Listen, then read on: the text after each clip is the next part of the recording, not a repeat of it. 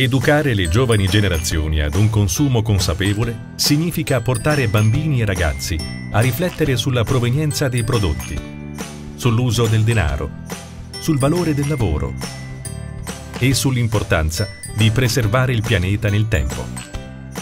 Con 10.000 percorsi e animazioni offerti gratuitamente ogni anno alle scuole di ogni ordine e grado in circa 800 comuni d'Italia, 222.000 bambini e ragazzi coinvolti, 11.000 insegnanti e 10.000 classi. Coop contribuisce alla formazione delle nuove generazioni al fianco delle famiglie e degli insegnanti. Comprendere il reale valore delle cose aiuta a diventare sin da piccoli consumatori più attenti cioè cittadini più responsabili. Perché essere una cooperativa di consumatori significa anche educare al consumo consapevole.